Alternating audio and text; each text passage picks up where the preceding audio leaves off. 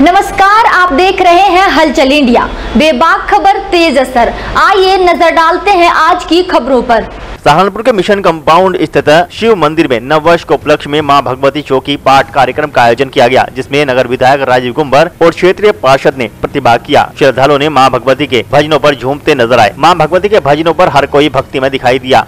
आरती के पश्चात भंडारे का आयोजन किया गया, जिसमें कार्यक्रम की संयोजिका उमा अरोड़ा और कीर्ति तनेजा ने बताया कि हर वर्ष की भांति इस वर्ष भी माँ भगवती चौकी पाठ का आयोजन किया गया है, जिसमें साई सेवा टीम ने प्रतिभा कर अच्छे अच्छे भजन गाए। उसके बाद नगर विधायक राजीव गुम्बर ने माँ भगवती के समक्ष दीप प्रज्वलित किया।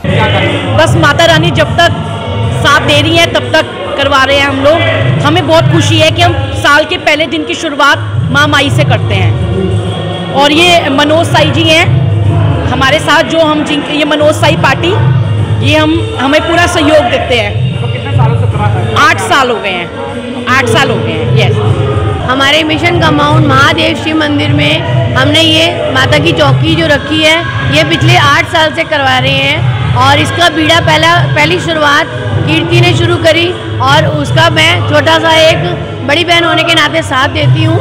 बाकी हमारा सारा मिशन कंपाउंड हमारा बहुत साथ साथ देता है। हमें बहुत सपोर्ट भी करता है कि जो भी हम सेवा करते हैं। हमारे, आज हमारी माता की चौकी में हमारे सहारनपुर के विधायक जी, राजीव गुम्बर जी आए और हमारे पार्षद संजय गर्ग जी आए, उन्होंने माता के दर्शन करे और यहाँ पे बहुत अच्छी रौनक लगी हुई है। जितनी भी हमारे मिशन कंपाउंड है और आसपास के जो एरिया हैं वो बहुत अच्छे से माता के दर्शन करके बहुत आनंद ले रहे हैं भजनों का। और साथ में हमारी निशी जैन अग्रवाल भी आई हुई हैं, जो एक समाज सेविका हैं। और बहुत छोटी छोटी समाज की सेवाओं में हमेशा आगे रहती हैं, गरीब लड़कियों की शादी में और अंधे स्कूल में। मैं उनके साथ भी जुड़ी हुई हूँ।